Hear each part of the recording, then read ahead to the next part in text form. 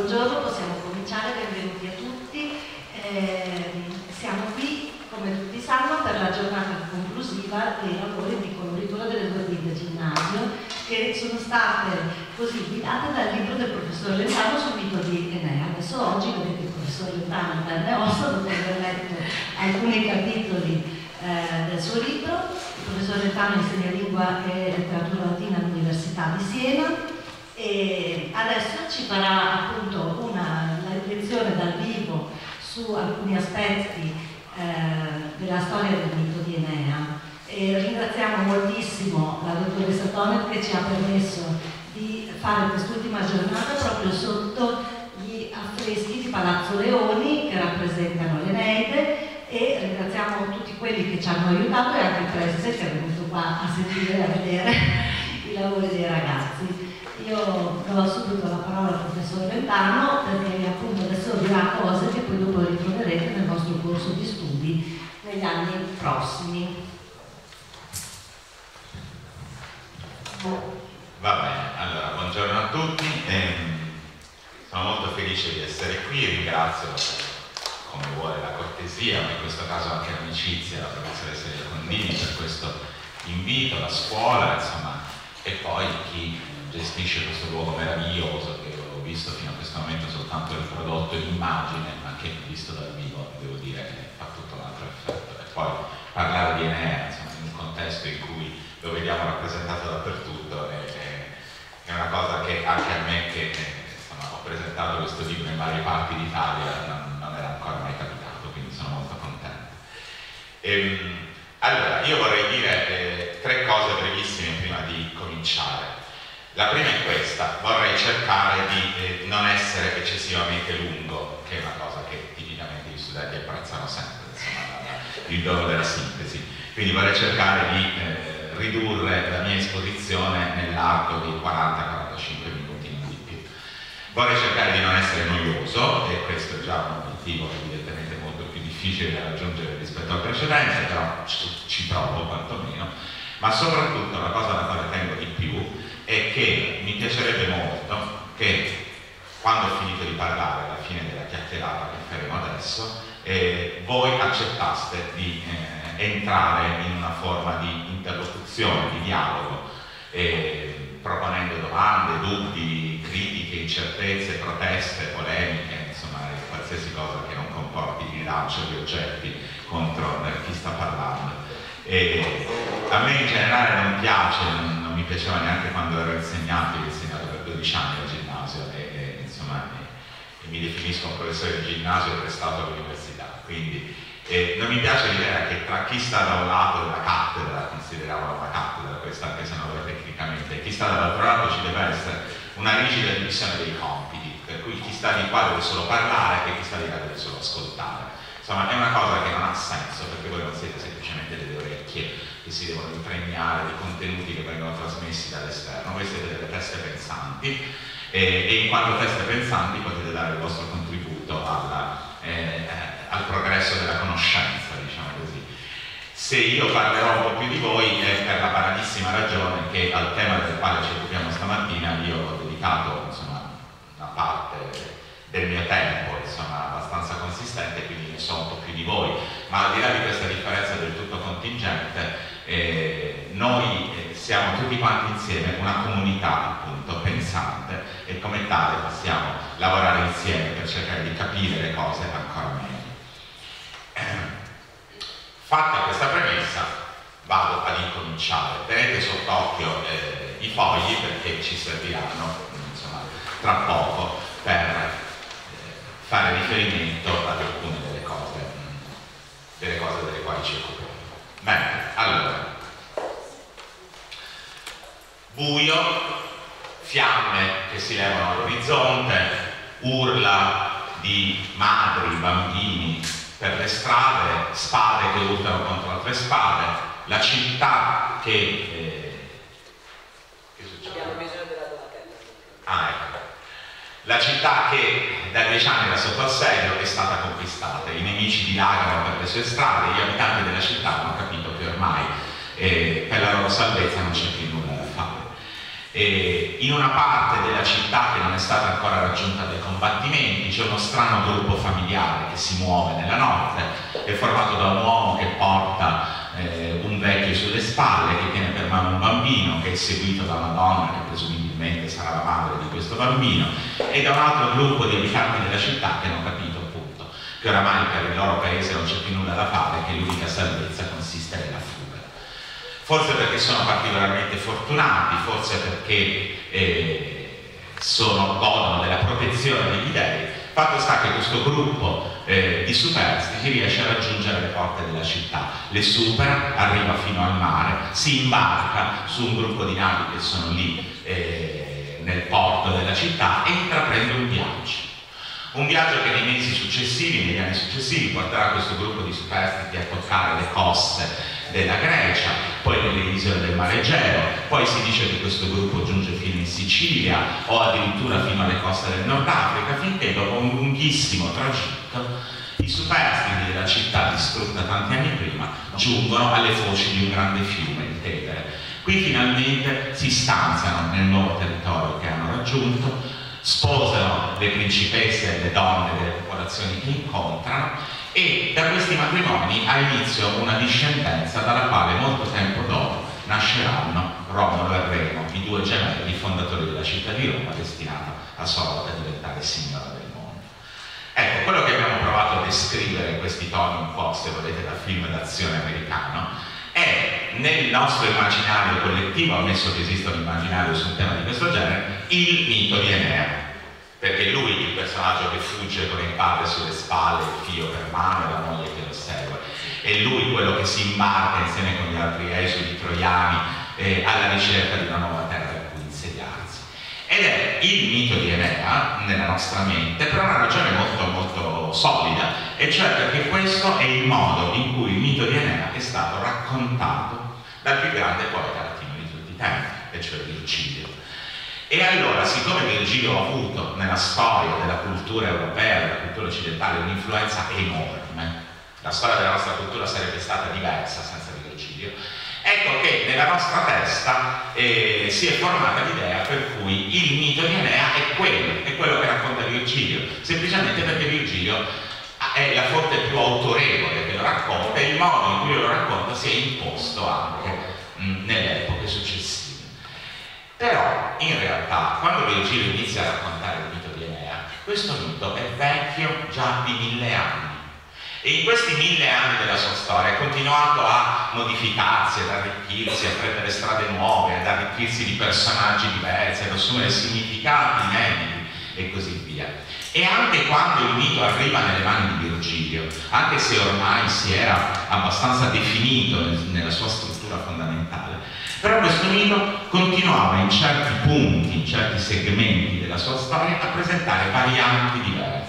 Che cosa significa varianti diverse? Significa che c'erano autori diversi, poeti diversi, che raccontavano certi passaggi del mito in maniera diversa. E addirittura eh, Virgilio in alcuni casi non aveva ancora deciso quale variante tra quelle che eh, gli comparivano nelle fonti fare sua come possiamo immaginare che Virgilio componesse la sua Eneide? Beh, facciamo finta che fosse ad un tavolo e avesse davanti a sé le opere dei poeti e degli autori che prima di lui avevano trattato il mito di Enea e si rendeva conto che certi passaggi appunto del mito erano raccontati in modi diversi, da fonti diverse e lui non aveva ancora deciso quale variante adottare e addirittura nell'Eneide, da, da un libro all'altro dello stesso poema, si trovano eh, varianti diverse dello stesso passaggio del racconto. Com'è possibile che? Perché Virgilio, come forse sapete, non ebbe il tempo di apporre l'ultima mano, eh, di fare l'ultima revisione all'Eneide. Virgilio si ammalò, eh, morì sul letto di morte chiedeva insistentemente che il suo poema venisse dato alle fiamme perché Virgilio era un perfezionista, era un sacerdote della forma e quindi non avrebbe mai voluto che l'Eneide venisse pubblicata imperfetta senza che lui avesse avuto modo di fare l'ultima revisione. Però per nostra fortuna, anche se magari gli studenti non sono dello stesso avviso, Augusto decise di pubblicare lo stesso l'Eneide così com'era E così noi abbiamo un'Eneide che presenta dei tratti appunto di incompiutezza, addirittura ci sono dei versi lasciati a metà perché Virgilio non aveva avuto il tempo di scriverli per intero.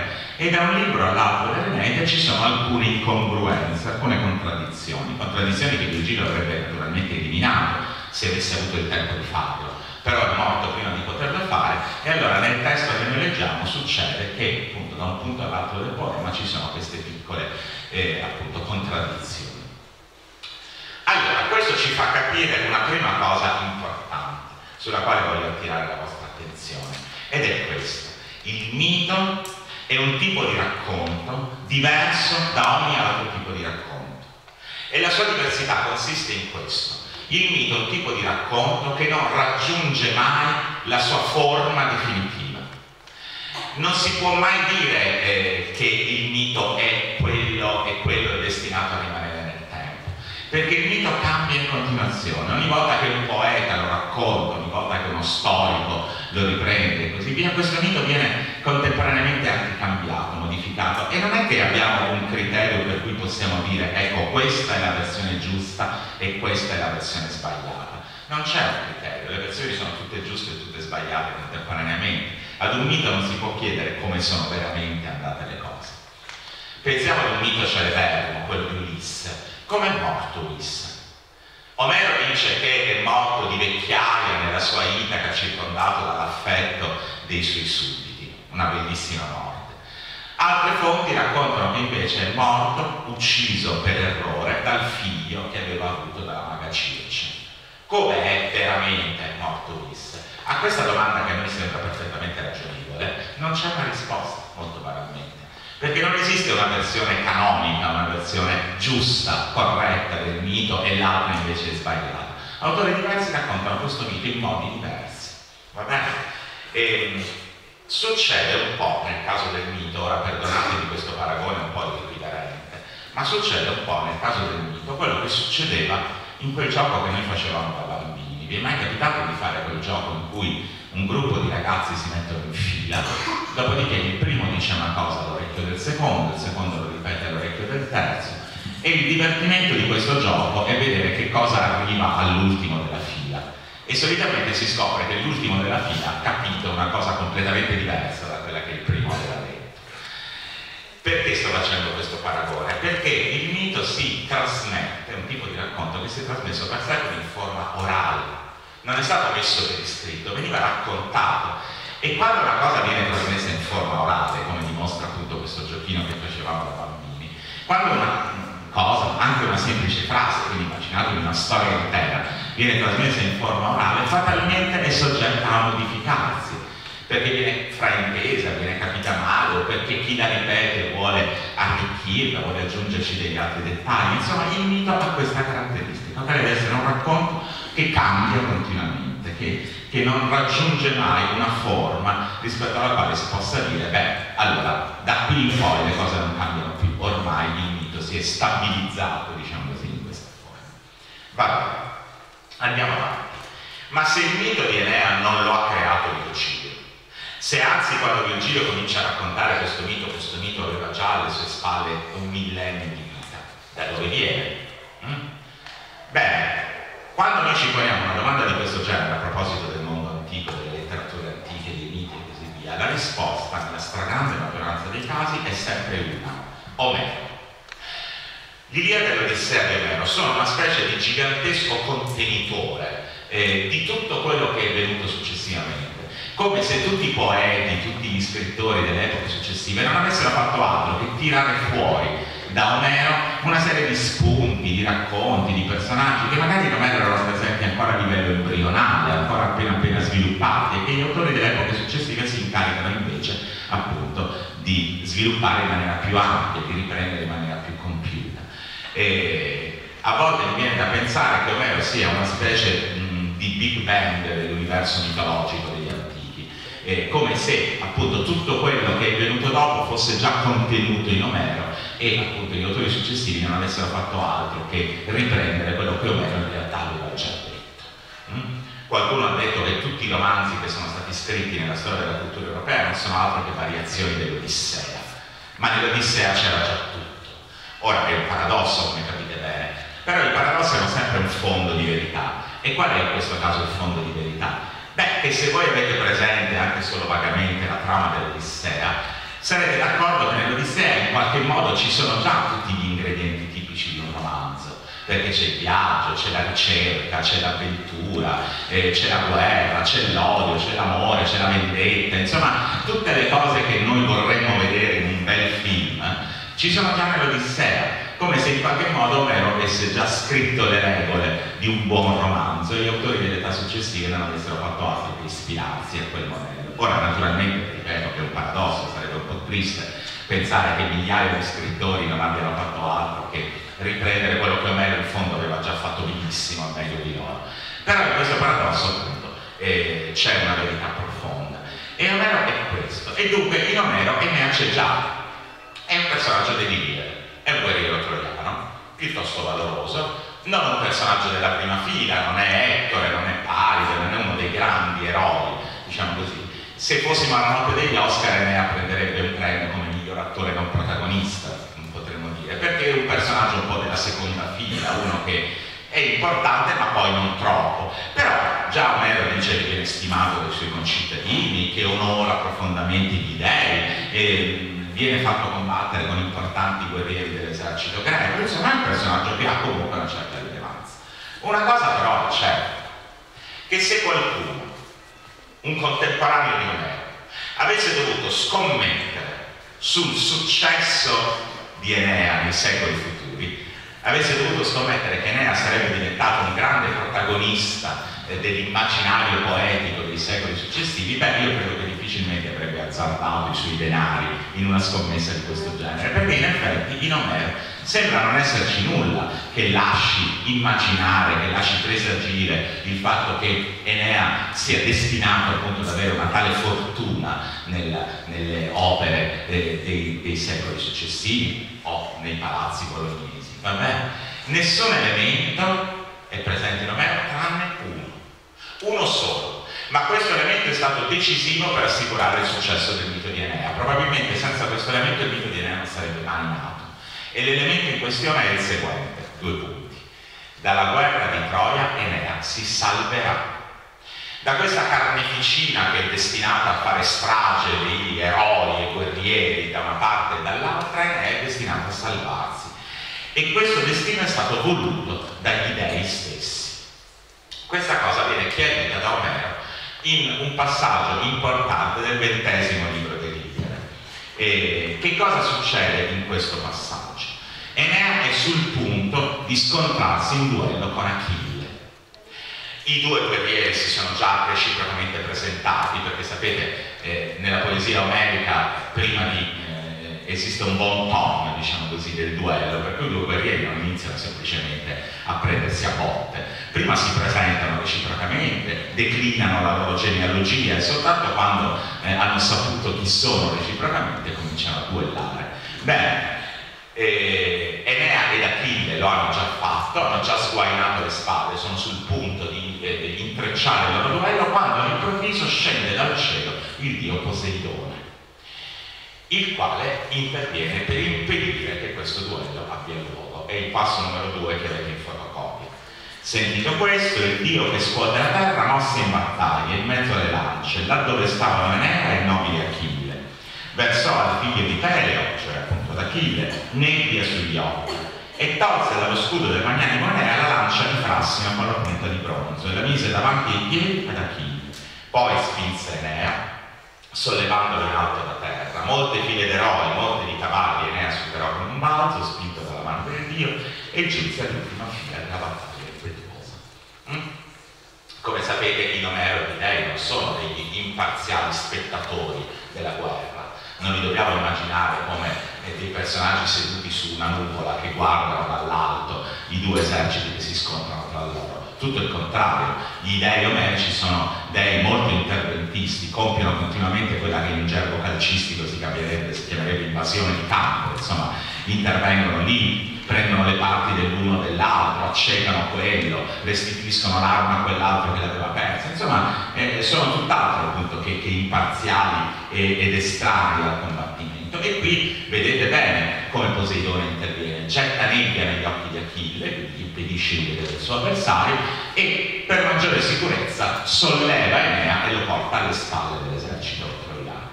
Questo duello non sa da fare, ma perché non sa da fare? Lo spiega lo stesso Poseidone eh, nel passo immediatamente successivo. Qui è Dio che sta parlando. Mettiamolo dunque in salvo da morte, che non si irriti il figlio di Crono, cioè Zeus, se Achille lo uccide, già che il suo destino di salvarsi. Ecco qua, questo è il verso che ha dato origine al mito di Enea. Perché non rimanga priva di discendenza e non sparisca la stirpe di Dardano, che Zeus amò più di tutti i suoi figli che gli sono nati da donne mortali. Adesso che il figlio di Crono ha preso in odio la stirpe di Priamo, il fortissimo Enea regnerà sui troiani e i figli dei suoi figli e quelli che verranno dopo.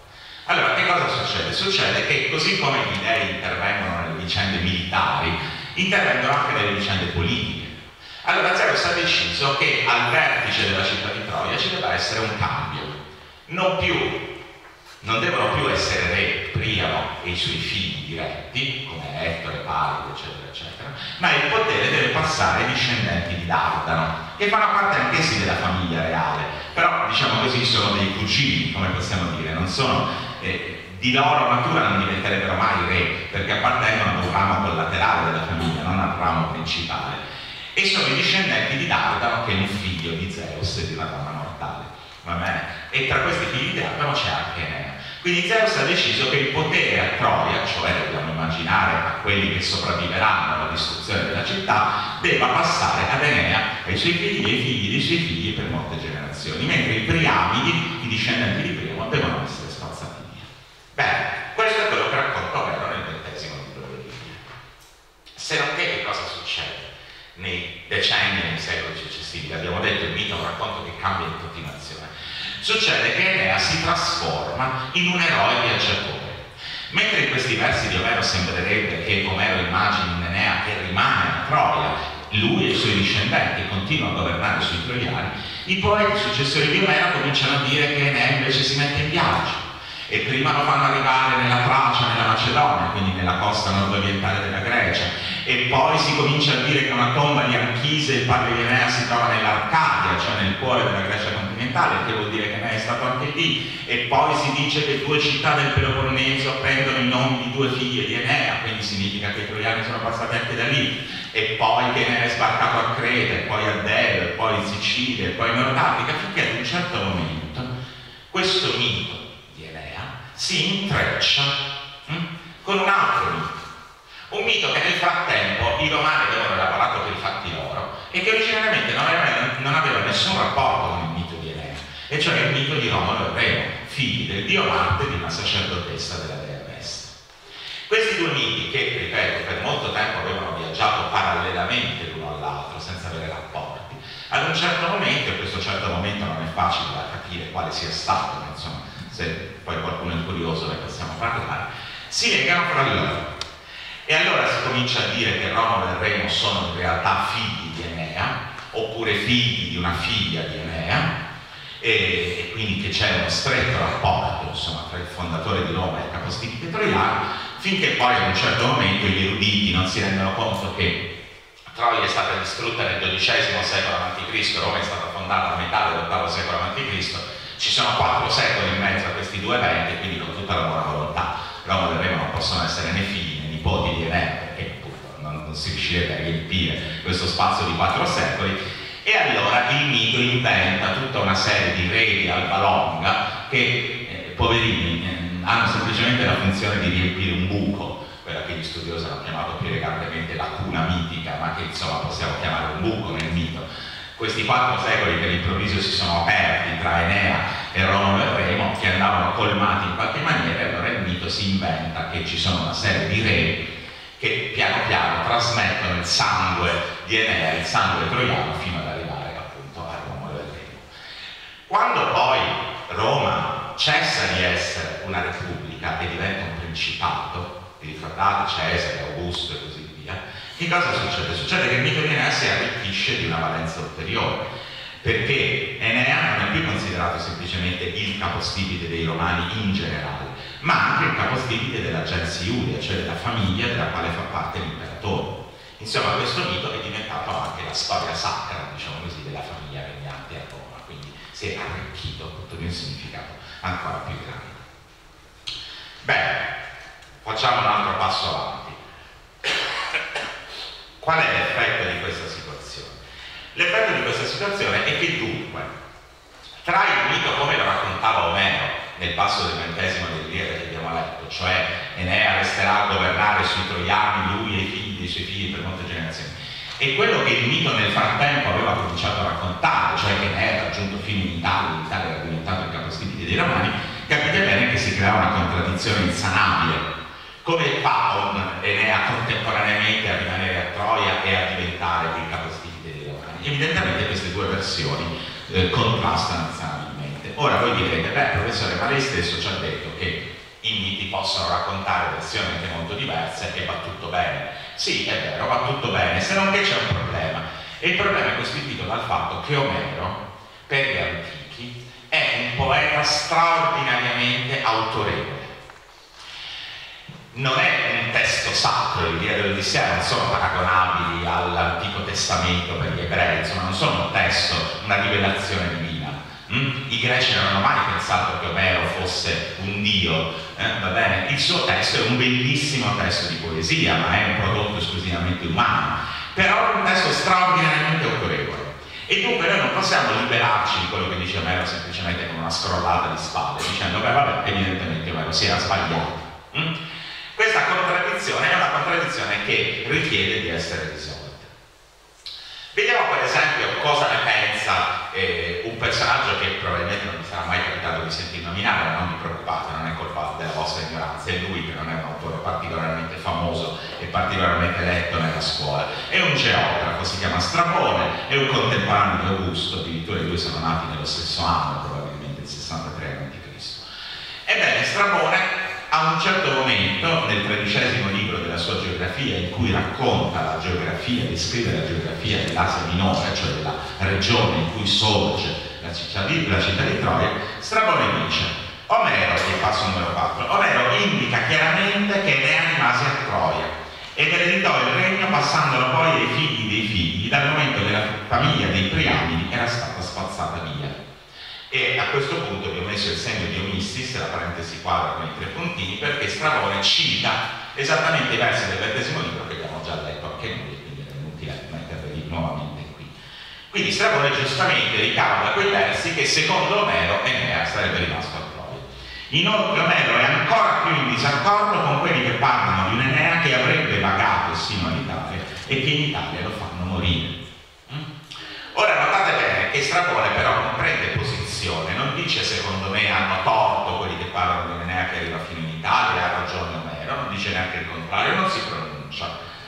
Forse anche perché lui è un contemporaneo di Augusto e Augusto non era un imperatore molto tenero nei confronti del dissenso, nei confronti di quanti assumevano posizioni che potevano sembrare ostili all'imperatore. Ora dire che Enea non era mai arrivato in Italia significava automaticamente dire che dunque Augusto non poteva essere un discendente i Giuli in generale non potevano essere dei discendenti di Enea, perché se Enea in Italia non c'era mai arrivato, come era possibile che questa famiglia discendesse da lui? E quindi Strabone prudentemente osserva che ci sono due versioni incompatibili del mito, ma non dice secondo lui quale delle due versioni è quella giusta. Però ci dice una cosa molto curiosa, perché il passo si conclude. Alcuni però scrivono la stirpe di Enea governerà su tutti e i figli dei suoi figli, intendendo i romani. A che cosa fa riferimento Roma? Io qui non a caso vi ho messo il greco di Omero, sia pure traslitterato, perché non sapevo se tutti quanti voi foste in grado di leggere i caratteri greci. E, se avete la pazienza di confrontare il, il, la fine del brano numero 3 con la fine del brano numero 4, vedete che Omero scrive nell'Iliade Ainea obi e Troves in Anaxei, cioè la forza di Enea governerà sui troiani.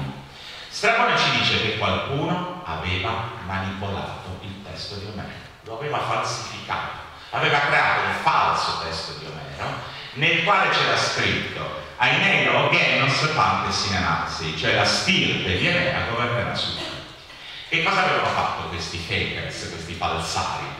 Avevano modificato due parole chiave del testo di Omero.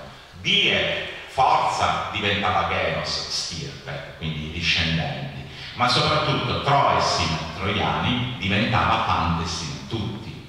A questo punto Omero non diceva più Enea governerà sui troiani, diceva Enea governerà su tutti, la stirpe di Enea governerà su tutti, intendendo i romani.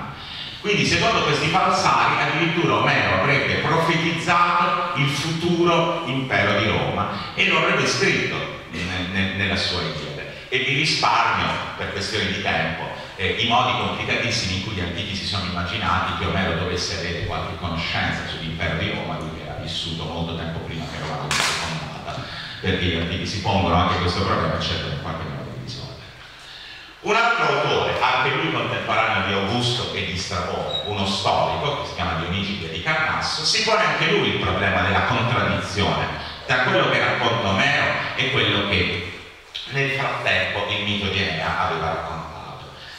Che cosa dice Dionigi di Carnasso? Era necessario per me riferire queste cose e fare questa digressione, in quanto alcuni storici affermano che Enea non è mai arrivato in Italia con i quindi la stessa cosa che diceva Strabone. Altri che si tratta di un altro Enea, non del figlio di Anchise e Afrodite, mentre ancora altri dicono che si trattava di Ascanio, figlio di Enea o di figure diverse. Quindi qualcuno aveva cercato di risolvere la contraddizione dicendo che l'Enea fondatore di Roma non era lo stesso Enea di cui parla Omero, cioè il figlio di Anchise e Afrodite, era un altro, un tizio anonimo, sconosciuto, che casualmente si chiamava anche lui Enea una soluzione, diciamoci la verità, un po' goffa, un po' rozza, ma assai poco soddisfacente. Per i romani farsi fondare da uno che non si sa bene chi sia e l'unico titolo di merito è quello di chiamarsi casualmente Enea, come si chiama Enea, l'eroe omerico, beh, non è una gran cosa, non è una grande soluzione. Alcuni sostengono poi che Enea, figlio di Afrodite, cioè l'Enea giusto, quello di cui parla Omero, dopo aver insediato i suoi compagni in Italia, tornò in patria, regnò su Troia e morendo lasciò il trono in eredità da Ascanio suo figlio, i cui discendenti lo possedettero per lungo tempo. Quindi qualcuno aveva studiato, aveva cercato di risolvere la contraddizione in maniera un po' più raffinata, dicendo che l'Enea fondatore capostipite dei Romani è lo stesso Enea di cui parla Omero. E, ed effettivamente, come dice Omero, questo Enea era rimasto a governare a Troia, ma prima di rimanere a governare a Troia aveva fatto giusto un salto in Italia, il tempo di fondare la città di Roma e poi era tornato precipitosamente in Asia Minore.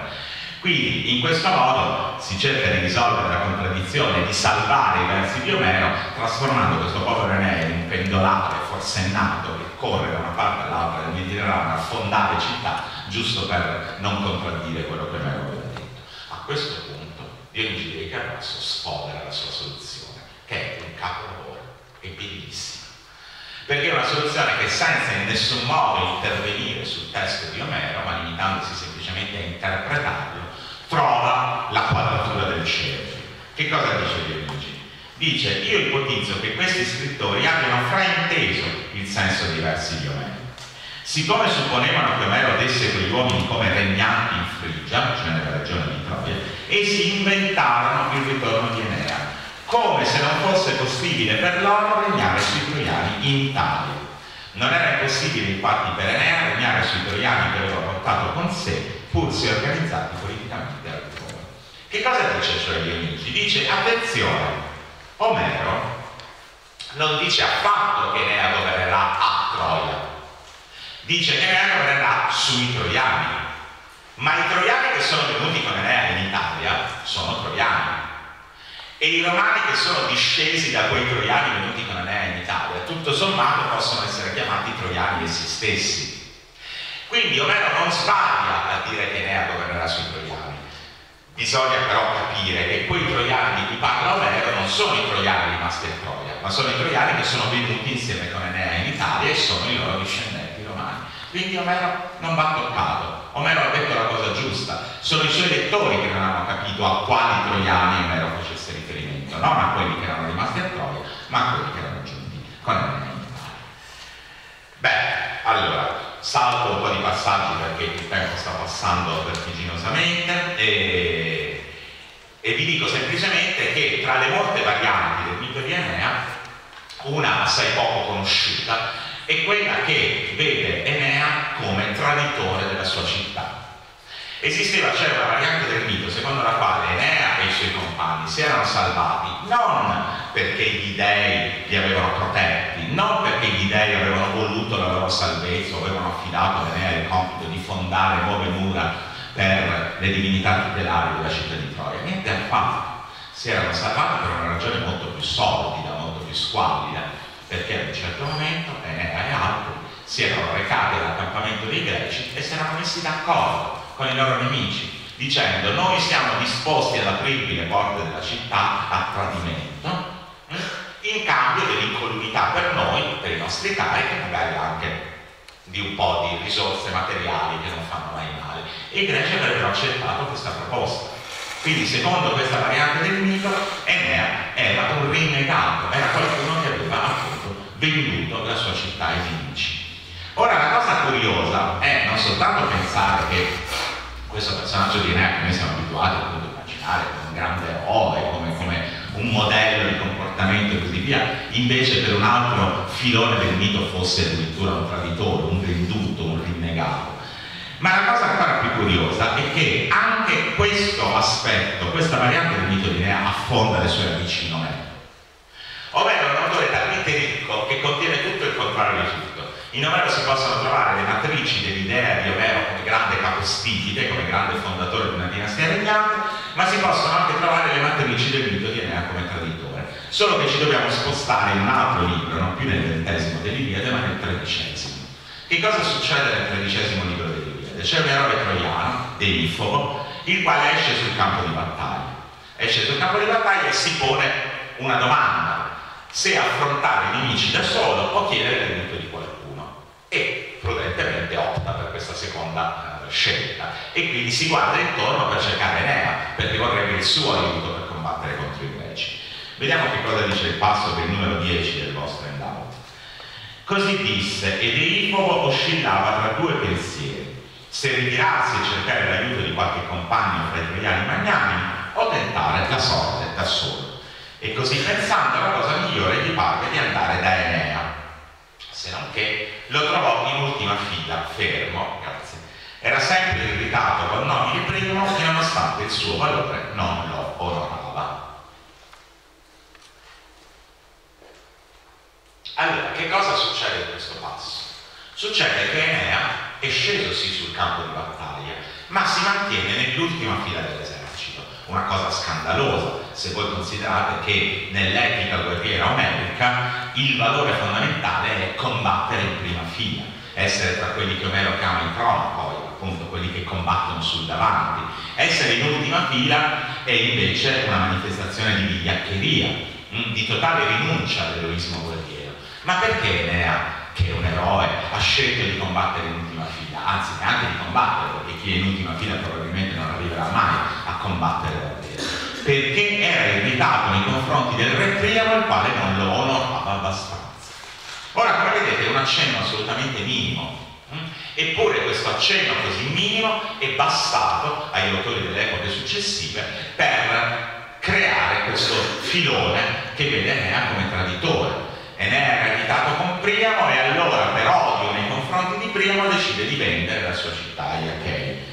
Lo diceva uno storico di cui non sappiamo nulla, che si chiama Menecrate di Xanto, è citato al passo numero 9, e Menecrate di Xanto dichiara che Enea consegnò la città di Achei a causa dell'odio che nutriva nei confronti di Alessandro, cioè di padre figlio di Priamo, e che per il favore reso loro gli Achei gli concessero di salvare i suoi beni. Enea infatti, lasciato privo di onore ed escluso da ogni sacro privilegio, spodestò Priamo. In seguito a ciò divenne uno degli Achei, addirittura divenne uno degli Achei il tradimento fu talmente radicale che ormai poteva essere considerato non più un troiano, ma un effetti.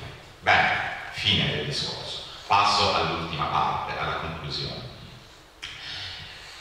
Prima abbiamo parlato di una caratteristica del mito, che è quella di essere un racconto che non raggiunge mai la sua forma definitiva. Adesso vorrei citare una seconda caratteristica del mito, il mito che anche questa rende il mito unico e diverso da qualsiasi altro tipo di racconto. Il mito è un tipo di racconto che ha avuto la caratteristica di sopravvivere lunghissimamente alla cultura che lo ha prodotto. Attenzione però, quando dico sopravvivere, non voglio dire una cosa banale del tipo ancora oggi si continuano a leggere i miti. Certo, se per questo si continuano a leggere opere ancora più antiche dei miti greci, voi potete leggere anche eh, opere della poesia egizia o di quella babilonese, insomma, che sono ancora più antiche dei miti. Non voglio alludere semplicemente al fatto che i miti si continuano a raccontare e magari che continuano a essere percepiti come affascinanti dagli studenti. Voglio alludere ad una cosa più profonda, cioè il fatto che i miti antichi continuano a servirci per descrivere eventi del nostro mondo. I personaggi del mito antico, cioè sono personaggi di cui noi ci serviamo per descrivere fenomeni del nostro tempo. Vi faccio un esempio banale e uno un po' meno banale. Avete mai usato voi nel vostro linguaggio quotidiano la parola narcisista?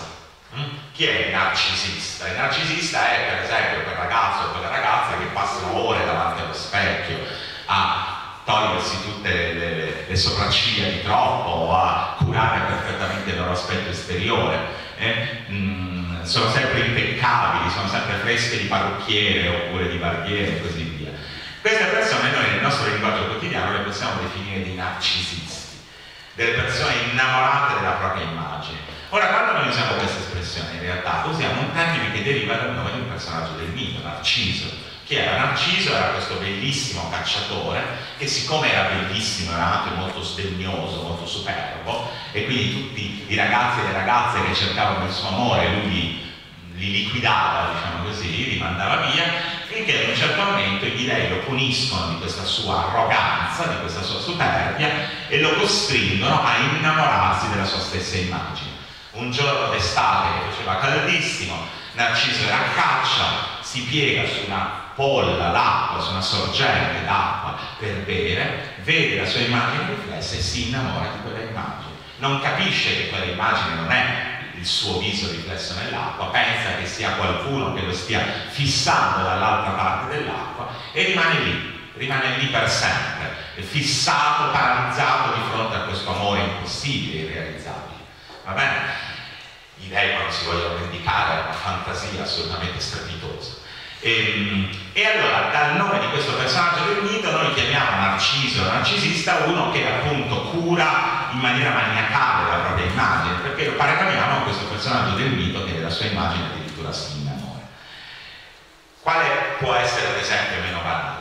Un grande psicologo, psicanalista contemporaneo, uno che va spesso anche in televisione, quindi potrà essere capitato di vederlo, Massimo Recalcati si chiama, ha scritto recentemente un libro il cui argomento è il seguente. Qual è oggi, oggi nel 2015-2016, il rapporto che c'è tra gli adolescenti, quelli che hanno la vostra età, e i loro genitori, in particolare i loro padri? Mm? Come si configura oggi il rapporto padre-figlio? Allora lui sviluppa la sua teoria, insomma spiega in che modo secondo lui oggi vanno le cose, ma quello che mi interessa è che Recalcati ha deciso di intitolare questo libro, chiamare questo libro, Il complesso di Telemaco. Cioè a dire, per descrivere una situazione assolutamente contemporanea, il rapporto che oggi, i ragazzi di oggi hanno con i loro padri di oggi, Recalcati è andato a scomodare un personaggio del mito antico, il figlio di Ulisse. Perché in questo figlio di Ulisse, che Ulisse ha lasciato da bambino per andare a Troia a combattere, e che ha passato vent'anni ad aspettare il ritorno di suo padre. Quando finalmente suo padre è tornato si è nuovamente unito a lui e insieme con lui si è vendicato dei pretendenti eccetera eccetera, liberato la reggia, restituito il trono al padre. E beh, nella storia di questo personaggio Ricardati vede in qualche modo degli elementi che sono affini, sono simili, analoghi alla situazione degli adolescenti moderni. Allora questo significa che il mito non muore Significa che il mito non solo continua a essere raccontato, ma il mito continua a servirci per pensare, a servirci per descrivere le situazioni del nostro tempo. È come se il mito avesse già raccontato tutto, come se il mito avesse già esplorato ogni possibilità. Per cui quando noi scopriamo qualcosa di nuovo, non dobbiamo, o che a noi sembra nuovo, non dobbiamo fare altro che aprire il gigantesco ipertesto del mito e dire vediamo un po' qual è il mito antico nel quale già questa cosa si raccontava e diamo a questo fenomeno contemporaneo il nome di un personaggio del mito antico. Bene, anche Re è un personaggio il cui mito ha continuato ad essere raccontato nel tempo. Ora potremo dedicarci un'altra ora a questo argomento, ma naturalmente invece lo spiegheremo in pochi minuti. E Che cosa ne è stato del mito di Enea dopo la fine del mondo antico? Raccontiamo soltanto due momenti di questa fortuna moderna del mito di Enea. Nel Medioevo il mito di Enea e il mito troiano in generale diventano un grande mito di legittimazione. Che cosa voglio dire con questa frase? Voglio dire che nel Medioevo ci sono moltissimi popoli, città, famiglie, dinastie regnanti che si accreditano una discendenza troiana. I franchi, i francesi dicono di essere discesi dai troiani, eh, ma anche gli inglesi dicono di essere discesi dai troiani, ma anche i britanni dicono di essere discesi dai troiani. Importanti famiglie regnanti italiane, famiglie signorili italiane, rivendicano origini troiane. Gli estensi, i signori di Ferrara, dicono di essere discesi da un borso che era figlio di Ettore, quindi avevano origini troiane. I visconti di Milano dicono di avere origini troiane. Persino una minuscola famiglia come i Trinci, che sono una piccola dinastia che ha governato a Foligno, questo paesino dell'Umbria, tra il 300 e il 400, e dicono che Trinci, il loro cognome Trinci, deriva da quello di Tros, un eroe troiano che chissà come si era venuto a trovare nell'Umbria, va bene, essendo giunto in Italia al seguito di Enea. E per non parlare di tutte le città che proclamano di essere state fondate da altrettanti compagni. Bene, perché succede questo? Perché c'è questa mania di presentarsi come discendenti dei troiani? Beh, perché questi popoli che erano venuti dal nulla mh, mm, e che avevano conquistato i territori dell'impero romano d'Occidente, ad un certo momento sentono il bisogno di inventarsi un passato, di inventarsi una tradizione. E allora che cosa fanno? La prendono dall'unico modello che hanno a disposizione, quello dei romani contro i quali stanno combattendo. I romani dicono di essere discendenti dei troiani, bene, anche noi siamo. Va bene? E dunque non siamo delle persone venute dal nulla, non siamo dei barbari che non hanno un passato, siamo delle persone che hanno almeno lo stesso grado di nobiltà dei nemici che stiamo combattendo. Sono in particolare i francesi ad essere molto attaccati a questo mito delle loro origini troiane. Pensate che ancora all'inizio del Settecento, del 1700, un dotto storico e linguista francese che si chiamava Nicolas Fréret per aver sostenuto in una sua opera che i francesi non erano affatto discendenti dei troiani, ma erano dei barbari germani qualsiasi, venne imprigionato alla Bastiglia, nella prigioneria di Francia, con l'accusa di lesa maestà. Cioè questo storico, avendo sostenuto che non era affatto vero che i franchi erano discendenti dei troiani, viene accusato di aver violato l'onore e la dignità del popolo francese. E nel passaggio alla contemporaneità, ovviamente questo mito non ha più ragione d'essere, viene più raccontato, ma questo non significa che Enea non abbia avuto posto anche nella letteratura contemporanea. Ora, per ragioni di tempo, io ho scelto semplicemente due passi, che sono gli ultimi due che avete in fotocopia. Il primo è di un grande poeta italiano del Novecento, Giorgio Coproni, il quale negli anni 50 scrive una raccolta di liriche che si chiama Il passaggio di Enea, in cui Enea diventa che cosa? Diventa l'immagine dell'uomo uscito dalla devastazione della seconda guerra mondiale. Mm? Un uomo che si è lasciato alle spalle soltanto rovine, soltanto distruzione, soltanto macerie, un uomo che avanza verso un futuro che però non è ancora chiaro, non può più tornare indietro perché dietro, dietro di lui ci sono soltanto appunto macerie, ma non sa neanche bene verso dove sta andando perché il futuro è ancora nebuloso, non si è ancora definito i suoi occhi. Vediamo cosa dice Caproni. Enea che in spalla un passato che crolla tenta in vano di porre in salvo e al rullo di un tamburo che uno schianto di mura per la mano ha ancora così gracile un futuro da non reggersi ritto. Allora questo piccolo Ascanio, questo bambino che Enea tiene per mano, diventa la metafora del futuro, è il futuro, un futuro che però è ancora bambino, non si regge neanche in piedi, né? lo deve tenere per mano è il simbolo di un mondo che deve ancora essere costruito perché il mondo precedente è stato distrutto dalla guerra, ma del quale non si riuscirà ancora a capire che forma avrà e comunque per il momento è come un neonato che non è capace di leggersi in piedi. Va bene? E quindi vedete come questo Enea novecentesco è un Enea completamente diverso da quello degli uomini del Medioevo. Quello era un Enea trionfante, era un Enea capostipite di popoli, di re, signorie, eccetera, eccetera questo Enea invece è un Enea vinto, un Enea sconfitto, un Enea perdente.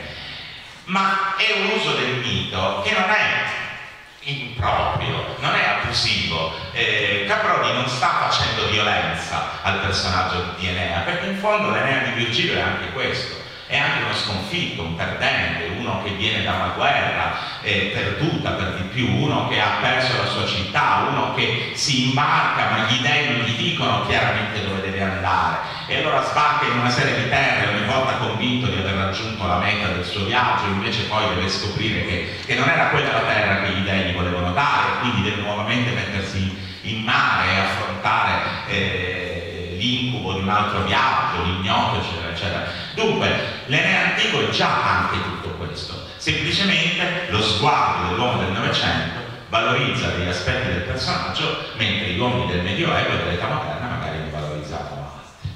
In tempi ancora più vicini a noi, perché questo testo ultimo che leggeremo risale addirittura all'anno 2000, in tempi ancora più vicini a noi, Enea diventa il simbolo di una figura che è a noi molto familiare anzi per certi versi persino più familiare oggi nel 2016 che non nel 2000 quando Tiziano Rossi ha scritto questi versi.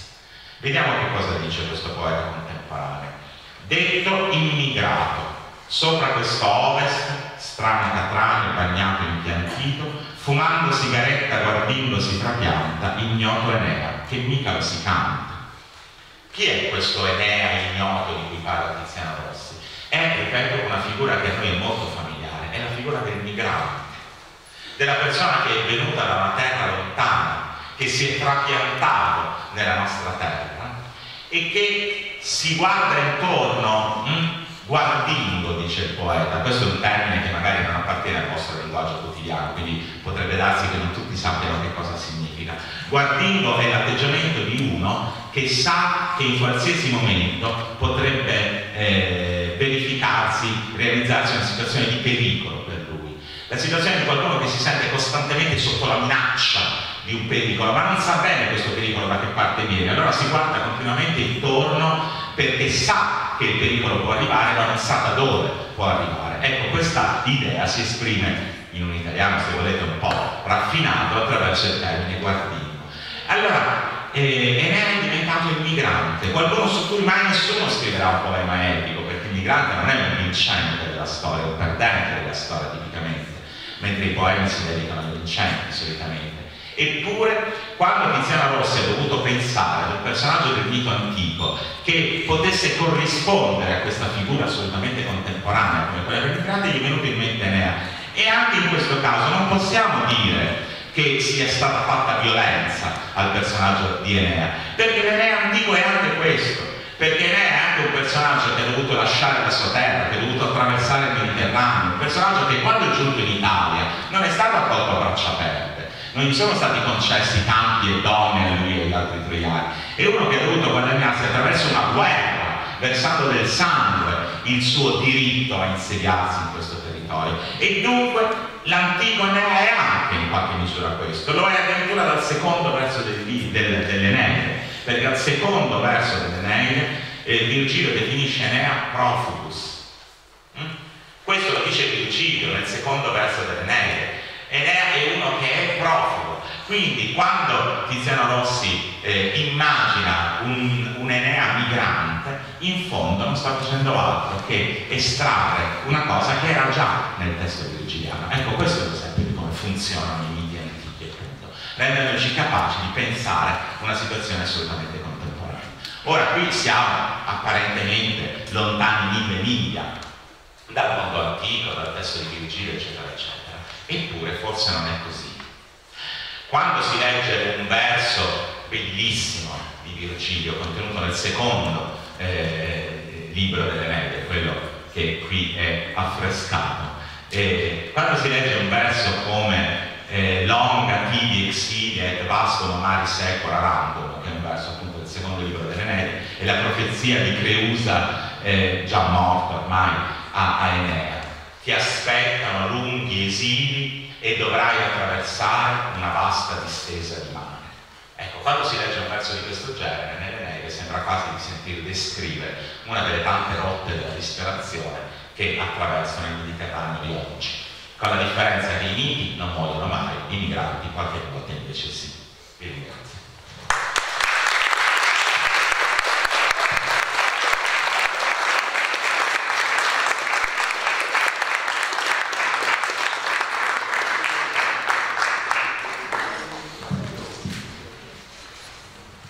Io volevo ringraziare di questa il professor Lettano per questa eh, appassionata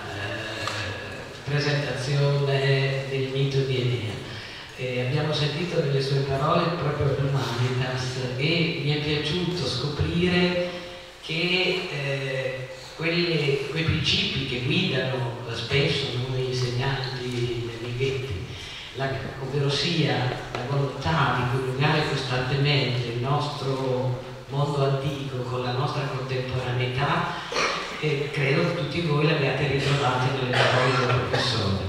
E eh, veramente sono grata di questa eh, capacità anche didattica che il professore ha dimostrato, evidentemente il passato ginnasiale ha contribuito e, e, e, quindi veramente, eh, come dicevo, ribadisco, sono molto contenta di questa occasione che abbiamo avuto. Voglio anche eh, ricordare, proprio prendendo spunto da una delle citazioni che il professore faceva a proposito del duello, eh, molti di voi sanno che ho un marito schermidore e mi piaceva proprio ricordare che il nostro presente, anche sportivo, voi pensate al saluto che gli schermidori sono obbligati a fare, pena la squalifica al pubblico, all'avversario, il saluto finale, può essersene date curiosamente ovviamente, anche oggi nello sport, e però c'è questa nobile arte della scherma la continuità del duello antico, purtroppo la guerra eh, si è eh, inferocita e quindi non conserva più queste forme, ma siamo in grado anche nello sport di mantenere queste nostre radici e quindi di sentire il, eh, il patrimonio classico come un grande serbatoio che, eh, noi, a cui noi possiamo costantemente attingere per scoprire la nostra umanità, il nostro presente, il nostro essere uomini migliori. È questo che noi vorremmo che la cultura classica ci aiutasse a fare. E soprattutto i miei alunni lo sanno che da dove viene, ormai fanno il coro, dal greco, dal greco perché ormai è una costante. E quindi questo leitmotiv che noi costantemente vediamo, pensate anche sul piano scientifico. La teoria democritea degli atomi, la scienza ci mette 2000 anni per dimostrarla eh, perché scienza poi dimostra qualcosa che l'uomo greco aveva intuito nella sua potenza di pensiero. Ma la potenza di pensiero dell'uomo greco è la potenza nostra.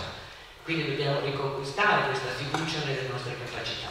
Poi mi è piaciuta moltissimo la chiusura eh, che il professore ha fatto perché è stato proprio un ponte verso quello che noi abbiamo pensato come approfondimento, perché è stato proprio Nea, un profugo viaggio nel presente e nel passato. Il primo intervento del gruppo che introdurrà poi i lavori dei ragazzi stessi è proprio questo titolo emblematico, è vero, no? è un profugo e quindi abbiamo trovato questo intreccio con l'altra classe che ha sviluppato in maniera più creativa l'elemento, diciamo, di studio e noi insomma siamo la cultura mediculturale, quindi abbiamo fatto altri percorsi.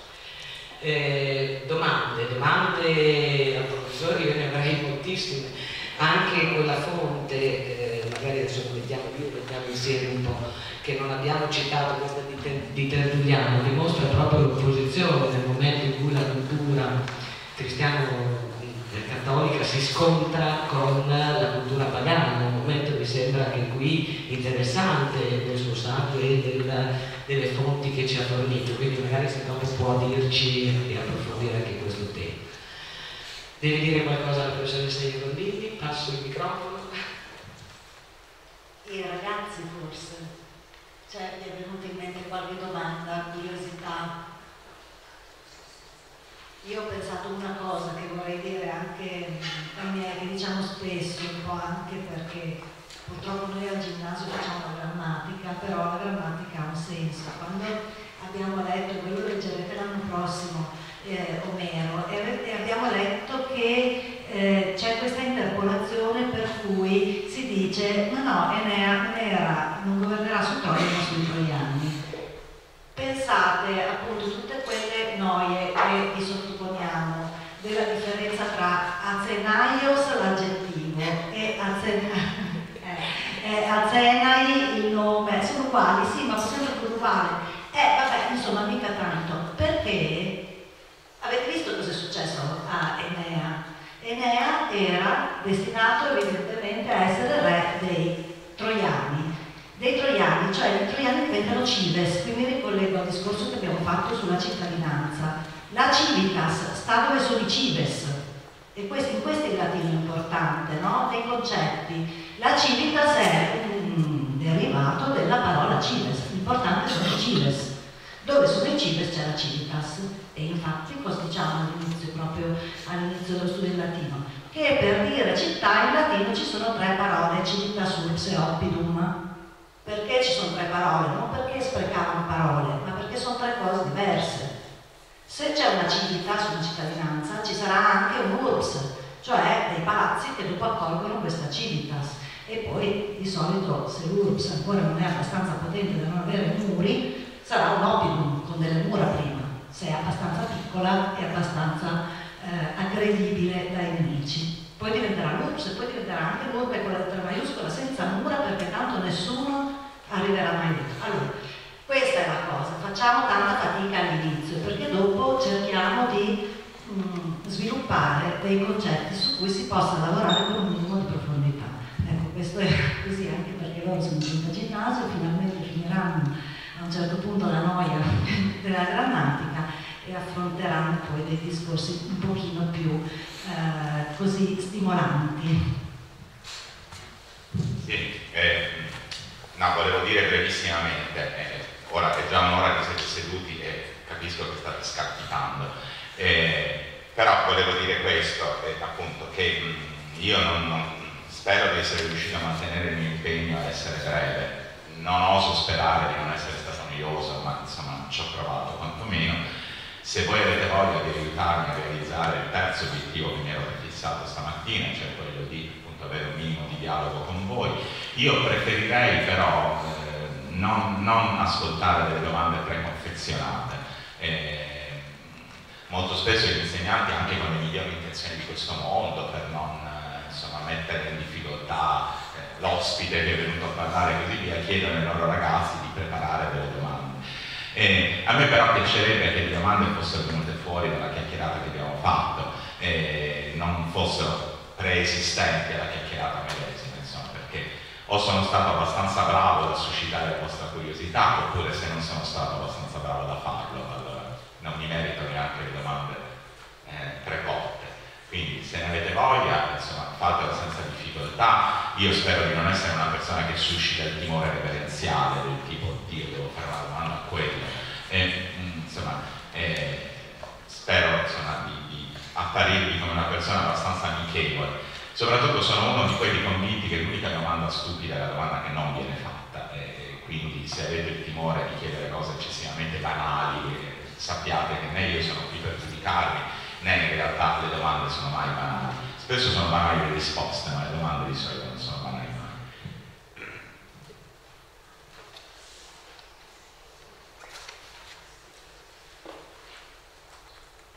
Sofia, ti vedo con aria interrogativa. la mia domanda era sul libro. Sì. Eh, perché le volevo chiedere eh, appunto l'idea del libro, come le era venuta a scrivere appunto su, su Enea, perché proprio Enea e appunto anche perché proprio mm, so dire, questo argomento che lei ha detto nel libro, anche se non c'entra molto No, no, va bene, va bene, importa, insomma, se, se, avete letto il libro avete, insomma, è come se, anche, queste sono cose che dico io, quindi è come se comunque in qualche misura la domanda fosse suscitata dalle, dalle mie parole, seppur in forma di inchiostro su carta. Allora, la risposta a questa domanda è una risposta in realtà molto banale e questo libro si inserisce all'interno di una collana dell'editore Inaudi che si chiama Mitologica ed è una collana che, della quale sono usciti questo momento credo sette volumi complessivamente, in ognuno quali, dei quali eh, viene raccontato un mito antico. Eh, è uscito il mito di Elena, il mito di Narciso, appunto il mito delle sirene eh, e il mito di Circe, insomma una serie, una serie di miti ogni volume consacrato ad un personaggio del mito. E erano usciti esclusivamente miti greci, molto giustamente, perché il mito è un'invenzione dei greci, c'è poco da fare. Eh, esiste qualche mito romano, ma insomma i miti romani tutto sommato. Ad un certo momento con il professor Bettini, che è il direttore di questa Collan, ma è anche il mio maestro, eh, si disse, beh, dovremmo fare un libro su un mito romano. Ora appunto i miti romani in realtà sono abbastanza pochi, e non, non, non si mette insieme un'enciclopedia, diciamo, raccogliendo i miti romani. E, almeno se intendiamo la parola mito nello stesso senso in cui la usiamo a proposito dei miti greci. E, e gli unici personaggi, gli unici veri protagonisti di, di miti romani sono Enea e Romolo, quindi si trattava di scegliere sostanzialmente tra questi due personaggi. Enea era un, un personaggio più interessante da questo punto di vista, interessante soprattutto per questo, perché è un personaggio inventato dai greci, però è un troiano, e però è un che a un certo momento i romani hanno deciso di far diventare loro eh, anterato. Allora si trattava di capire due cose piuttosto curiose. La prima è appunto eh, che, cosa, che, cosa, è questo personaggio, che, eh, che cosa succede nel personaggio che è stato inventato dai greci e poi però è stato adottato dai romani. Cosa diventa un mito quando passa da una cultura all'altra? Rimane invariato? Beh, presumibilmente no presumibilmente il fatto di essere eh, trasferito in un'altra cultura comporta anche dei cambiamenti e una delle cose, insomma dei filoni che io cerco di percorrere in questo libro è appunto questo, che cosa succede ad un mito greco quando si trapianta eh, in una terra che non è la sua. E la seconda cosa, la seconda questione interessante è ma per quale diavolo di ragione i romani sono andati a scegliersi fondatore così, un capostipite così? Di solito se uno deve immaginare il proprio capostipite immagina una persona, un vincente appunto, immagina una persona eh, senza, senza, ombre. Eh? Invece Enea è un personaggio tutto sommato eh, appunto di sconfitto, di vinto, qualcuno che appartiene ad un popolo che ha perso una guerra, perché i romani sono andati a immaginarsi un fondatore proprio così? Eppure non era l'unica possibilità che avevano, esistevano altri miti di fondazione magari anche apparentemente più nobilitanti di quanto non fosse quello troviano. E quindi il, il libro nasce sostanzialmente da questo, da, dalla curiosità di esplorare un mito romano. Io sono latinista, non sono grecista, quindi eh, il mio oggetto di studio, la mia passione eh, al tempo stesso è rappresentata dal mondo romano e quindi questo libro è stato... Certo, insomma, eh, se avessi saputo la fatica che ci voleva per farlo, non so se avrei accettato da prima, ma eh, siccome Maurizio Bettini è un dolcissimo padrone, insomma una persona alla quale è, difficile poter dire di no, e, e allora insomma, ho accolto la sua richiesta e alla fine sono stato contento di averlo, di averlo fatto perché insomma, è stata una bellissima avventura anche, anche lavorarci su questo libro, insomma scriverlo. E spero che una parte del piacere insomma, che che io ci ho messo nello scriverlo sia aperta anche in voi che lo leggevi.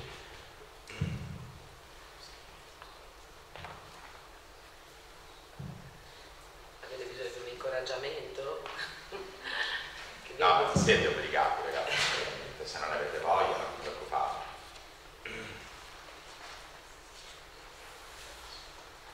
Io sono curiosa, quanto tempo ha richiesto? Due anni. Sì, perché era... Ah, c'era una mano alzata. No, no, no, due anni e mezzo, eh, perché la difficoltà di un libro di questo genere è eh, soprattutto cercare di capire come impostarlo, eh, perché non doveva essere un saggio su Virgilio, di saggi su Virgilio ne esistono migliaia, eh, voi siete molto giovani quindi non avete ancora eh, in, insomma, fatto esperienza di, di come funzionano gli studi classici gli studi classici sono una cosa maledetta, perché eh, se, se, voi siete dei fisici e decidete di studiare mh, mm, eh, una particella eh, subatomica, magari vi può capitare di leggere soltanto i testi che sono stati scritti negli ultimi dieci anni, perché 11 anni fa questa particella ancora era ignota e quindi nessuno ci aveva scritto sopra. Ma se voi decidete di lavorare su un testo antico, dovete pensare che eh, i libri che in teoria dovreste leggere sono tutti quelli che sono stati scritti dal momento in cui è vissuto questo autore fino ad oggi. E se poi questo autore è Virgilio, quindi un, un autore le, letto, studiato, analizzato, sviscerato, eccetera, eccetera, e beh, potreste passare tutta la vita, potrebbe non bastarvi a leggere tutto quello che i vostri predecessori hanno scritto su quel determinato argomento. Allora il rischio era quello di scrivere un saggio su Virgilio. Io non volevo scrivere un saggio su Virgilio, non è possibile scrivere un saggio su Virgilio oggi. Eh, doveva essere il racconto di un mito, eh, il racconto di una storia e del modo in cui questa storia è cambiata nel corso del tempo e continua a cambiare. E insomma, però anche dopo aver circoscritto il focus eh, su questa modalità, comunque insomma le cose da dire sono tante, perché poi eh, Enea sembra un autore, un personaggio un po' grigio, un personaggio un po' opaco, forse vi verrebbe da pensare che pochi si sono occupati di questo personaggio, in realtà ci sono un sacco di testi antichi che parlano di Enea, insomma, e se li si vuole esaminare tutti, metterli in successione, disporli a costruire una storia, insomma un po' di tempo ci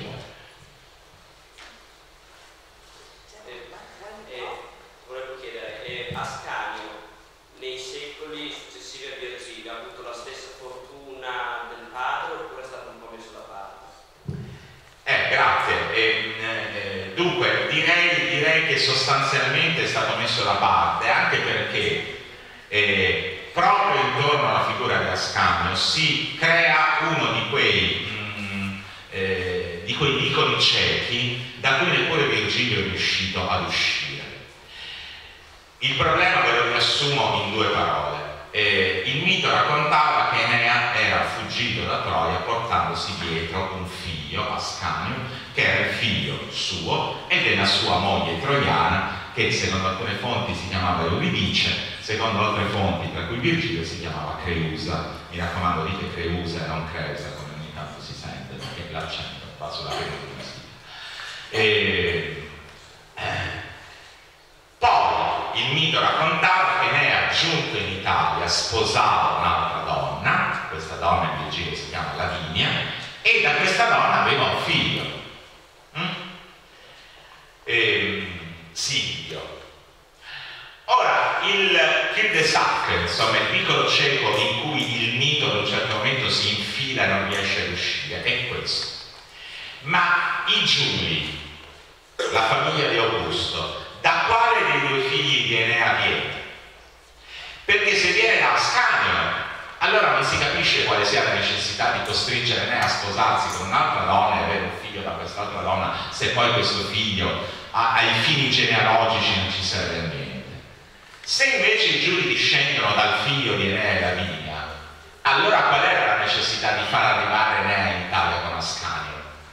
Insomma, c'è sempre un figlio in più, hm? Eh, si potrebbe dire, perché eh, appunto l'accumularsi, lo stratificarsi di varianti di un mito a volte crea queste situazioni insomma insolubili. Eh, e Virgilio stesso non aveva ancora risolto questo problema perché da una parte parla di Ascanio che poi viene chiamato Iulo e quindi diventa il capostipite dei Giudi nel, nel, nel primo libro nel sesto invece parla di Silvio Postumo, il figlio che nasce da Enea e dopo la morte di Enea, perciò si chiama Postumo perché la madre lo partorisce quando il padre è già morto, e che dà origine a tutta la dinastia dei re di Alba Longa, da cui dovrebbe venire anche la madre di Romolo e Remo. E quindi, insomma, mm, c'è, questo problema, per cui Ascanio eh, eh, è sempre stato una specie di granellino di sabbia nell'ingranagio del mito, che, che è stato più un, un problema da risolvere che non un, un'opportunità, una possibilità, proprio perché eh, il mito aveva creato questa doppia figliolanza di Enea e eh,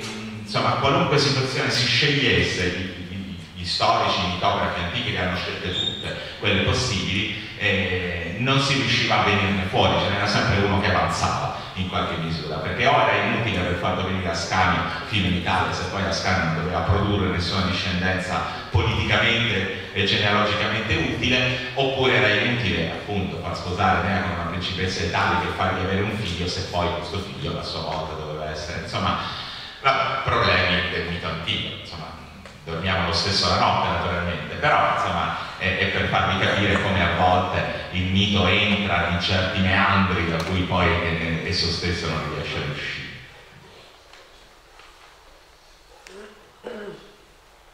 Prego.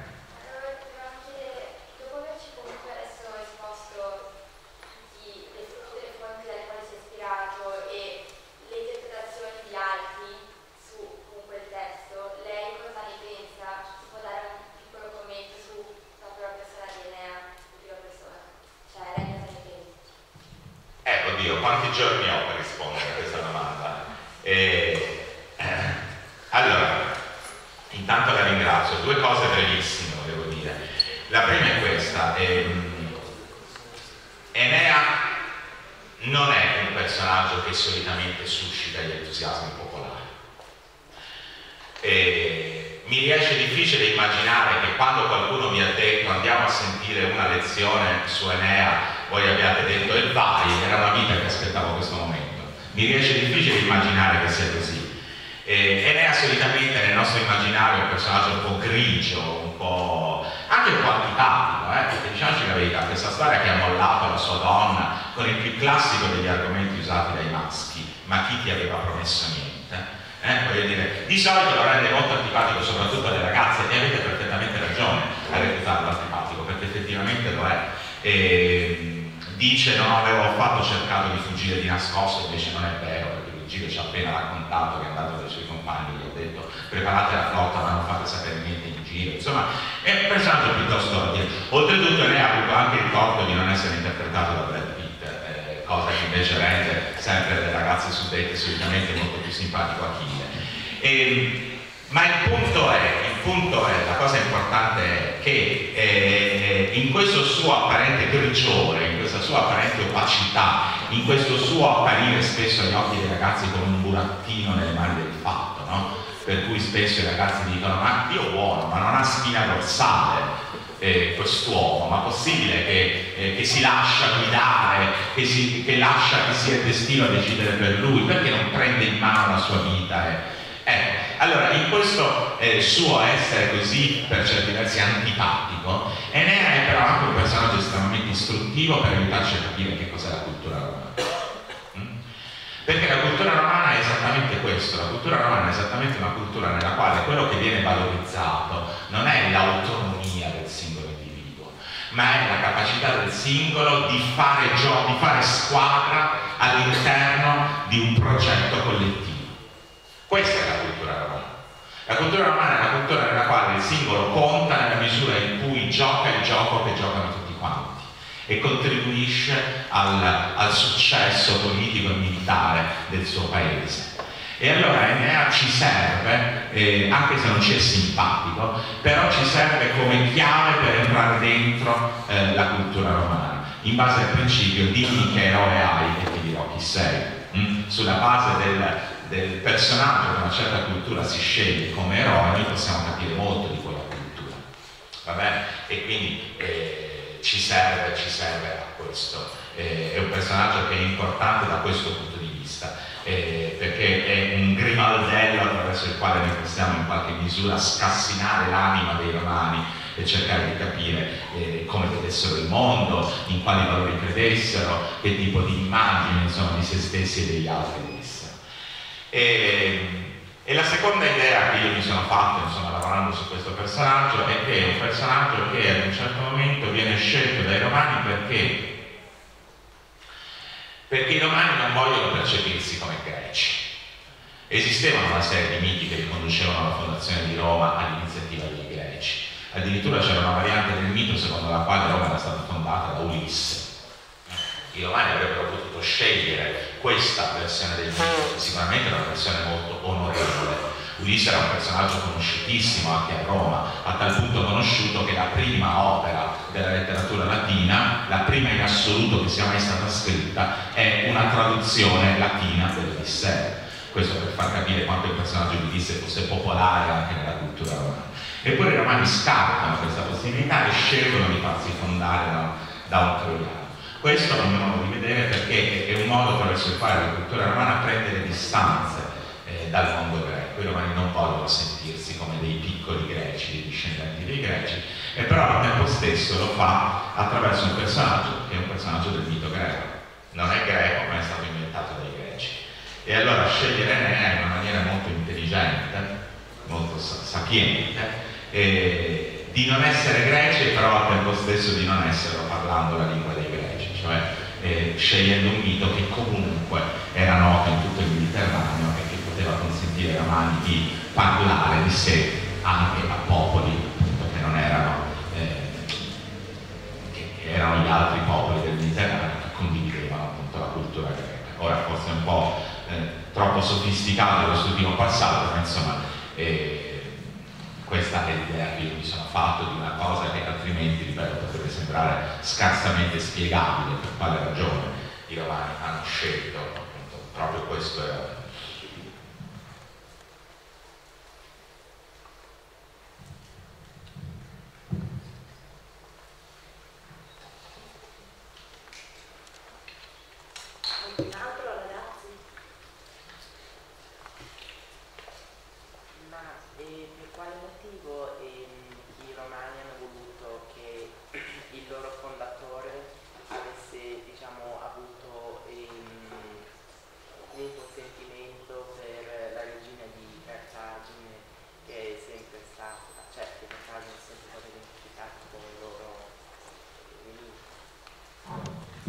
Sì, grazie. Allora, eh, secondo quello che si legge in tutti i manuali di letteratura, il mito dell'amore fra Enea e Didone è un mito di tipo eziologico, dicono gli antichi.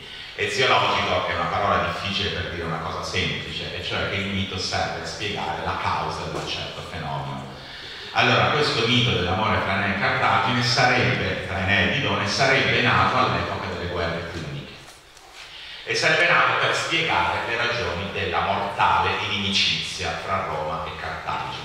Da dove nascerebbe questa inimicizia? Dal fatto che eh, avendo dovuto Enea abbandonare Didone, eh, che era innamorato di lui, Didone lo maledice eh, e profetizza che fra la sua stirpe, quella dei cartaginesi, e la stirpe di Enea, quella dei romani, ci sarà un'eterna inimicizia. Mm?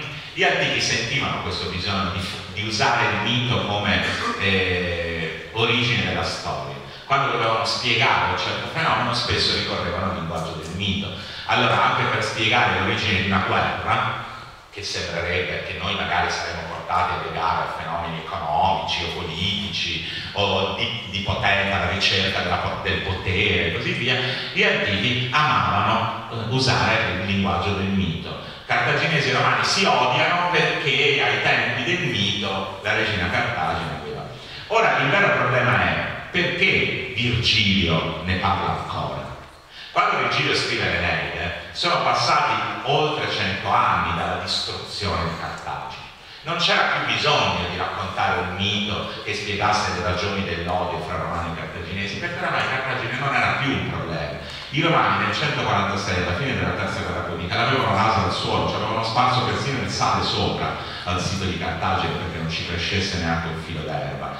Quindi perché Virgilio doveva ancora sentire il bisogno di giustificare una cosa che forse quando i primi poeti latini ne avevano parlato era all'ordine del giorno, era un fatto attuale perché si stava combattendo la seconda guerra punica, ma all'epoca di Virgilio non aveva più un'attualità. E allora perché lo fa? A mio modo di vedere lo fa per questo perché nella cultura romana come anche in altre culture le donne, la donna è la, la tentazione dell'eroe la tentazione attraverso la quale l'eroe deve passare, la tentazione che l'eroe deve vincere per essere eroe. Tu non sei eroe se non sei passato attraverso una serie di prove che hanno dimostrato il tuo eroismo. La donna è una di queste prove, per certi versi è la più difficile da superare perché Didone che cosa fa? Didone è come se dicesse, eh, avete presente l'episodio delle sirene? Quando, quando, Ulisse passa con la sua nave, le sirene cantano questo canto meraviglioso e dicono Ulisse, ma dove vai? Ma fermati qui, fermati, vieni da noi, da noi sarai felice, scendi su quest'isola, non continuare la tua navigazione. Ecco, Didone in una certa qual misura è questo, è la donna che dice all'eroe fermati, fermati. Stai qui, qui sarai felice, qui sarai accudito, qui sarai amato, qui potrai farti la tua casa. Non continuare il tuo viaggio, lascia perdere la missione che i dei ti hanno affidato, arrivare in Italia, fondare un nuovo, lascia perdere, fermati, resta qui. Ecco, questa è la grande tentazione, hm? la tentazione dell'eroe di rinunciare alla sua missione, di lasciare perdere che gli è stato affidato, di ricercare una felicità che è esclusivamente individuale, esclusivamente personale. Mm? E invece l'eroe, l'eroe romano, è tale, come dicevamo prima, proprio nella misura in cui mette da parte la sua felicità personale a favore di un progetto che è più grande di lui. Enea sa benissimo che della nascita di Roma lui personalmente non trarrà nessun vantaggio. Roma sarà fondata tre secoli dopo la sua morte, lui non la vedrà mai, sì, gli vengono fatti vedere negli Roma, ma, ma lui questa cosa, da questa cosa non trarrà nessun beneficio, anzi lui si prende soltanto il brutto, lui fa il lavoro sporco, diciamo così, per consentire la fondazione di Roma. Ma non ne vorrà i frutti in nessun modo, ma è